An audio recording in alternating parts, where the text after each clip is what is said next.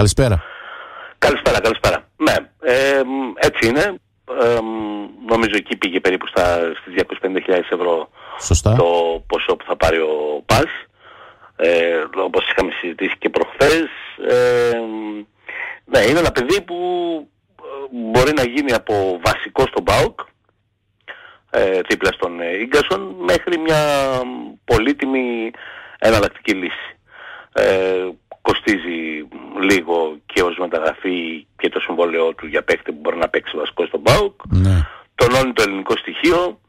Τα δύο τελευταία χρόνια όλες οι στατιστικές επιδόσεις του μας δείχνουν ότι είναι ένας, καλύτερο, ένας από τους καλύτερους κεντρικούς αμυντικούς του ΠΑΣ πέρα από το, όσα είδε το α, γυμνό μάτι όλων μας σε αυτή την διετή παρουσία του στον α, ΠΑΣ ε, και οι στατιστικές του επιδόσεις με οποιουσδήποτε φόρμουλες ε, οι πλατφόρμες που αναλύουν σε βάθος τις συμπεριφορές μέσα από τα στατιστικά των ποδοσφαιριστών είτε του Y-Scout είτε οποιασδήποτε άλλης πλατφόρμας Ναι. διαπιστώνεις ότι οι στατιστικές του επιδόσεις είναι τον κατατάσσουν στον κορυφαίο Έλληνα κεντρικό αμυντικό την τελευταία διετία Ναι. και σαν από τους τρεις, ναι ναι βέβαια Πω. και σαν από τους τρεις-τέσσερις ε, ε, κορυφαίο Έλληνα κεντρικό αμυντικό του πρωταθλήματος Ναι. και σαν από τους τρεις-τέσσερις άλλοτε τρίτος, άλλοτε τέταρτος σε επιδόσεις κεντρικούς αμυντικούς του πρωταθλήματος. Ναι. Ε, συνεπώς ε, το μόνο που απομένει είναι να αντιμετωπιστεί ως τέτοια μεταγραφή ε, γιατί στην Ελλάδα συνήθως τέτοιου είδους μεταγραφές ε, έναν Έλληνα σε αυτή την ηλικία από μια επαρχιακή ομάδα ε, δεν έχουν καθόλου λάμψη, δεν τους βάζουμε καθόλου χρυσόσκονη απάνω Ναι. ε, ούτε το κοινό ψήνεται πολύ. Πολλές φορές και οι ομάδες ε, τους βάζουν σε δεύτερη μοίρα προσπαθώντας να αξιοποιήσουν ξένους ποδοσφαιριστές ή πιο λαμπερές μεταγραφές. Αλλά αυτό εδώ το παιδί, ξέρεις, ε, έχει και το τσαγανό, μας έχει δείξει τόσα χρόνια. Ναι. Οπότε νομίζω ότι μ, δεν θα το καταπιεί το μέγεθος του ΠΑΟΚ ούτε τα αποδητήρια του ΠΑΟΚ. Μ, Νομίζω ότι είναι, μ, πώς να το πω, μια, μια safe, απολύτως safe επιλογή που θα δώσει πράγματα στον ΠΑΟΚ. Απομένει να δούμε πόσα πολλά θα είναι αυτά που θα δώσει. Ναι. Τώρα διαβάζω ε, κάποια ρεπορτάζ σχετικά με τον Τάσο Δόνη. Σίγουρα εσύ έχεις εικόνα από το παιδί. Ε, ταιριάζει, μπορεί; Κοίτα να δεις, ο, η επιλογή ρέμισης στον Τάσο δεν βγήκε καθόλου. Ναι. Ε, ε, σε κανένα χρονικό σημείο. Και ειδικά η περσινή χρονιά ήταν και η πιο... ο- με αυτή με τις λιγότερες συμμετοχές και σε αριθμό συμμετοχών παιχνιδιών και σε λεπτά συμμετοχών Ναι. και ψάχνει οπωσδήποτε να φύγει από εκεί έστω με τη μορφή δανεισμού αν δεν μπορέσει να πάρει μεταγραφή γιατί είναι σε μια χαρά ηλικία Σωστά. και γιατί μ, ε, χρειάζεται πια, δεν, δεν, δεν αντέχει άλλη μια, μια σεζόν στο μπάγκο. Οπότε ο ίδιος ψάχνει μετεπιτάσεως να φύγει από εκεί. Ε, ο Πάοκ νομίζω αυτή την μεταγραφή την κάνει ως εξής, μ, α, όταν θα, αν θα την ολοκληρώσει και όταν θα την ολοκληρώσει, Ναι. στη λογική ότι δεν τον παίρνει για να στηρίξει πάνω του τα εξτρέμ της ομάδας. Α, δηλαδή δεν είναι ότι αν δεν του βγει όπα, εδώ υπάρχει μια μεγάλη τρύπα στο ρόστερ. Έχουμε θέμα, ναι. Α, ναι, νομίζω ότι ο Πάοκ θέλει να έχει για βασικούς την επόμενη σεζόν στα άκρα της επίδεσής του τον Ζίβκοβιτς και τον Άρη και προς αυτή την κατεύθυνση της ολοκλήρωσης μεταγραφής του Νάρη κινείται Μμμ. και μετά να έχει ορισμένες εναλλακτικές επιλογές. Επειδή το ελληνικό στοιχείο αρχίζει και μ, λείπει από τον ΠΑΟΚ, κάπως έτσι έγινε και η σκέψη για τον Κάργα και έγινε η μεταγραφή του, κάπως έτσι έγινε και η σκέψη για τον Τάσο Δόνη. Νομίζω ότι ο Τάσος Δόνης δεν θα έρχονταν στη Θεσσαλονίκη αν δεν είχε πάθει ρήξη για στον Ολυμιός. Νομίζω ότι αυτός θα ήταν που θα έπαιρνε ο ΠΑΟΚ ή τέλος πάντων θα προσπαθούσε να πάρει γιατί ενδεχομένως να υπήρχε μεγάλος ανταγωνισμός από αρκετές ελληνικές ομάδες για τον Λιμιό. Από τη στιγμή που ο Λιμιός στάθηκε πάρα πολύ άτυχος και έπαθε τη ρήξη της χιαστών, στον ΠΑΟΚ προτάθηκε ο Δόνης ε, στο πλαίσιο της αναζήτησης από τον ίδιο μιας νέας ομάδας. Το σκέφτηκαν, το εξέτασαν, επειδή ακριβώς δεν είναι κάποιος που θα τον πάρουν για να του δώσουν φανέλα βασικού. Ε, σκέφτηκαν ότι είναι μια καλή επιλογή, γιατί μπορεί να εξελιχθεί σε βασικό, Ναι. αν βρει τον καλό εαυτό του, αυτόν που είχαμε δει και στην Εθνική, αυτόν που είχαμε δει και τον οδήγησε και στη μεταγραφή στην ε, ΡΕΜΣ, ε, και μετά να έχει και μια οψιόν αγοράς λογική ώστε να μπορεί να τον αποκτήσει.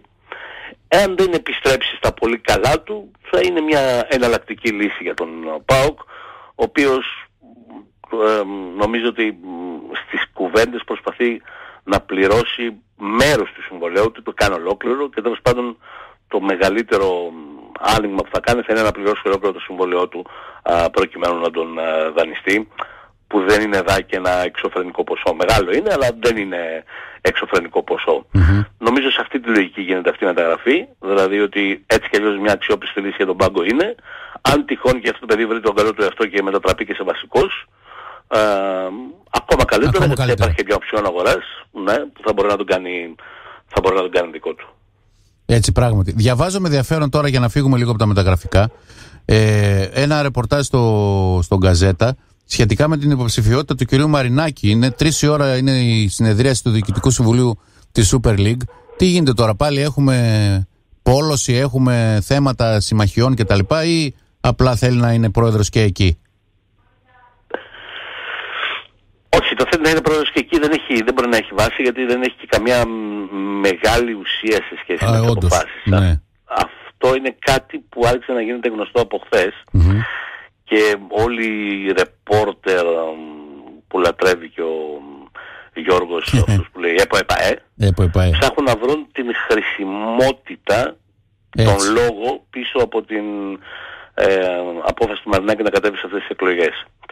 Όπως επίσης ψάχνουν να βρουν και τα κουκιά, διότι θεωρητικός για να κατεβαίνει ε, πιστεύει ότι αν όχι θα κερδίσει, ότι τουλάχιστον θα το κάνει πολύ ντέρμπι. Ναι.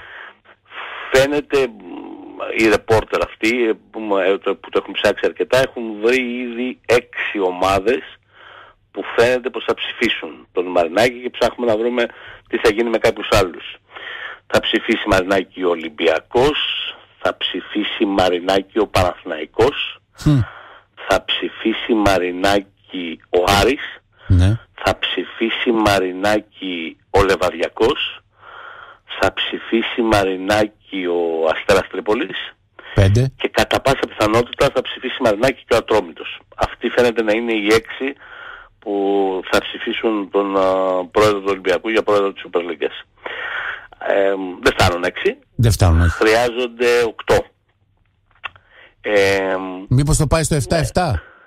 Ε, και αυτό είναι ένα ενδεχόμενο, το 7-7. Ναι. Ε, μοιάζει 50-50 η ψήφος του Ιωνικού, ο οποίος μπορεί να κάνει το 7-7 και θυμίζω ότι σε αυτή τη διαδικασία έχει ψήφο και η ΕΠΟ.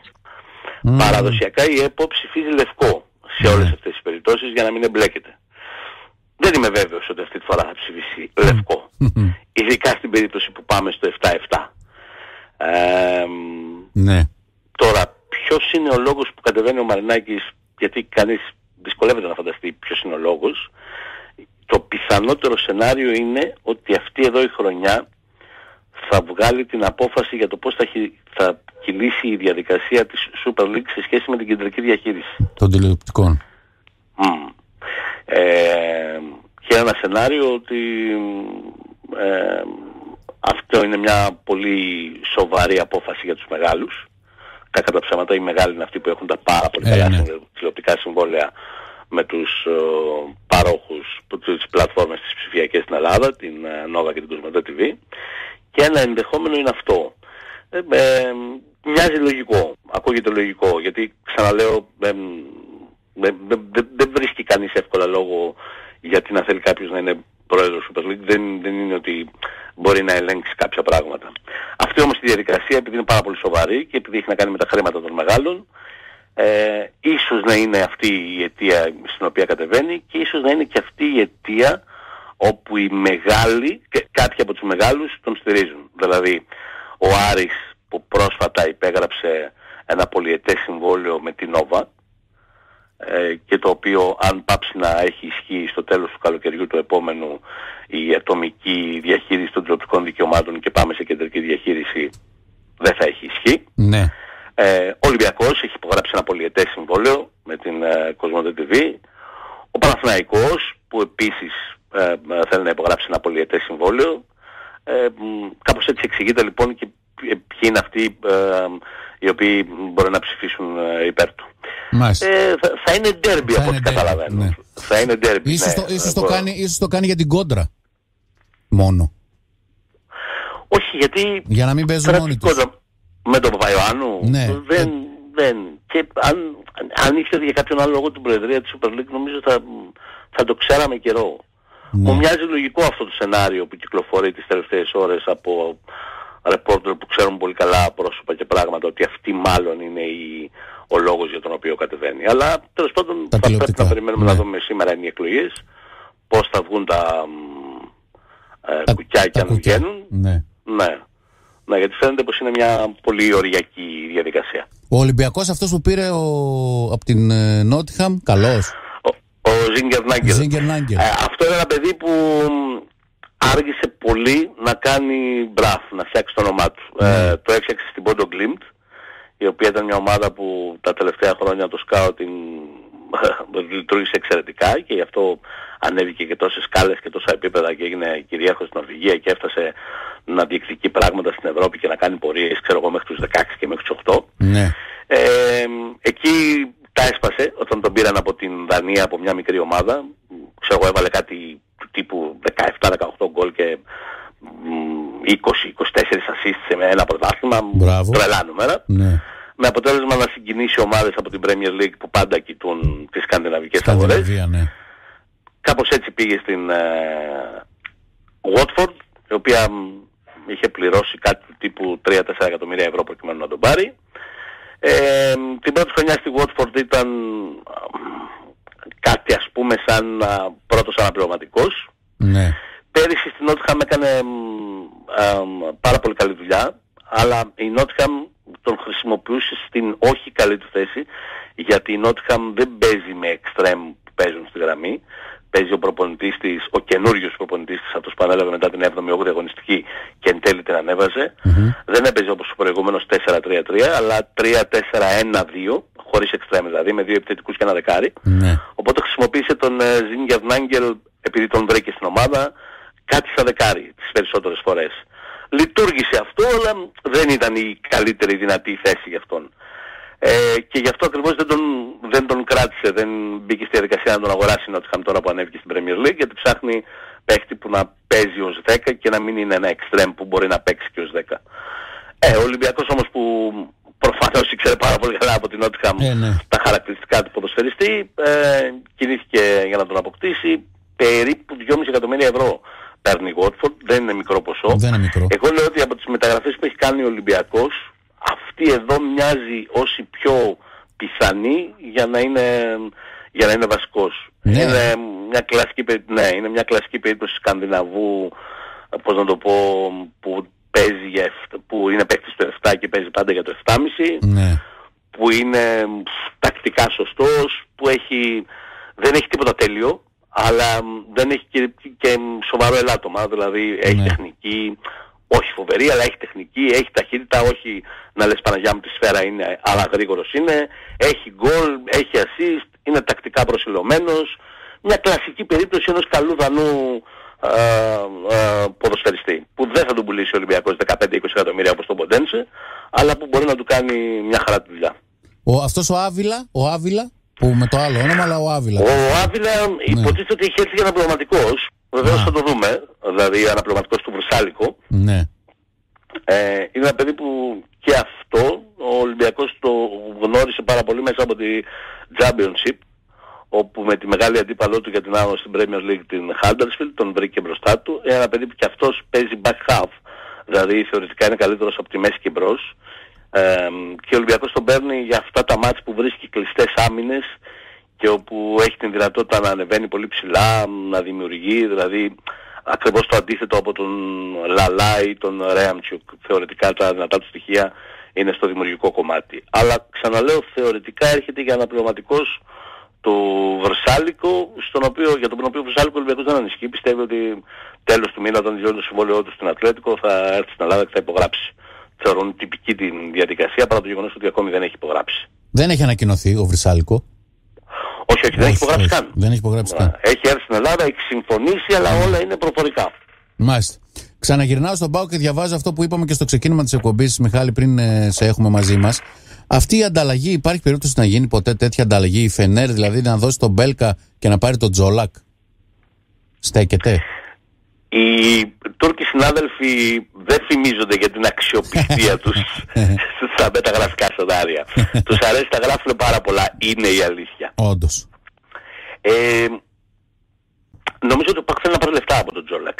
Και Ναι. νομίζω ότι ο Πακ θέλει να πάρει λεφτά από τον Τζόλακ γιατί θέλει να πάρει έναν καλό σεντερφόρ στη θέση του Τζόλακ. Σωστό. Ε, βέβαια, ε, υπάρχει και ένα άλλο ζήτημα ότι στη θέση του Πέλκα ο Πάκος έχει πάρει δύο ποδοσφαιριστές.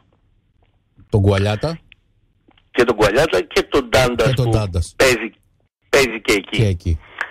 Ε, δεν, το, δεν, δεν μου μοιάζει ένα, Να ένα στέκεται. πιθανό σενάριο. Ναι. Ούτε μου μοιάζει ένα πιθανό σενάριο, το λέω για τον Λουτσέσκου στην ε, συνεργασία του με τον Πέρκα, τον είχε χρησιμοποιήσει ως επιθετικό, αλλά σε 4-4-2, όχι σε 4-2-3-1, όπου ο μοναδικός φόρνα είναι ο Πέρκας. Δεν, δεν μου μοιάζει να έχει Δεν- ανάγκη Δεν σου κάθεται, παίχτη ναι.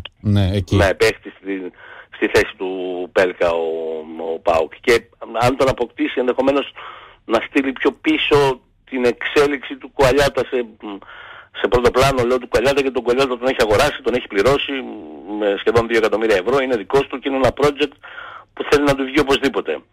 Ε, οπότε δεν, δεν, δεν μου μοιάζει και το, και το πιθανότερο σενάριο. Μάλιστα. Ωραία. Τι άλλο έχουμε να σχολιάσουμε; Έχει αρκετά άλλα. Κάτι. Ε, περιμένουμε την εξέλιξη στην περίπτωση Καμαρά. Φαίνεται, το είχα σωστά. μια πορεία, ξέρεις, έψαχα να βρω τι, τι, τι διάλογο ρόλο μπορεί να παίζει η Φούλαμ σε όλο αυτό. Και γιατί ο Καρυπίδης ήταν στο Λονδίνο Ναι. και γιατί να συζητάει με τη Φούλαμ, φαίνεται πως η Φούλαμ έχει μ, μία οψιόν, Ω. μία δεν ξέρω τι, να τον πάρει πίσω. Α, έχει, έχει τέτοιο λόγο ακόμη στο συμβόλαιο προφανώς. Ναι, ε, μάλλον έχει να κάνει με στη τον τρόπο μεταγραφή. καταβολής των χρημάτων. Δηλαδή ο Άρης πρέπει να έχει δώσει ε, ένα μικρό ποσό σε σχέση με, τη μεταγραφή, με το συνολικό ποσό της μεταγραφής. Λέω ας πούμε για να συνοληθούμε κάτι του τύπου 500.000 Ναι. και γι' αυτό έχει ένα υπόλοιπο ακόμα 2,5 εκατομμυρίων ευρώ. Και σου λέει αν δεν μας Και τα άρα- δώσεις, τον παίρνουμε πίσω. Μπορεί η Φούλαμ να έχει βάλει όρο ότι σε ένα χρόνο μπορεί να τον πάρω πίσω και να μην μου δώσεις ε, τα 2,5 εκατομμύρια ευρώ που είναι οι δόσεις από εκεί και πέρα. Και- Ή κάπως έτσι. Και να τον πουλήσω Φαίνεται εγώ. πως ας πούμε. έχει, ναι, έχει μια οψιόν που ε- είναι ε, ανεξάρτητη από την επιθυμία του Άρη. Δηλαδή, ακόμα και αν ο Άρης τον ήθελε να τον κρατήσει, φαίνεται πως η Φούλαμ είχε αυτό το, την οψιόν να τον πάρει πίσω. Ε, αλλά φαίνεται ότι η Φούλαμ δεν θα κάνει χρήση αυτής της οψιόν και μάλιστα υπήρχε μια μεγάλη ανησυχία γιατί θυμίζω ότι η Φούλαμ ανέβηκε.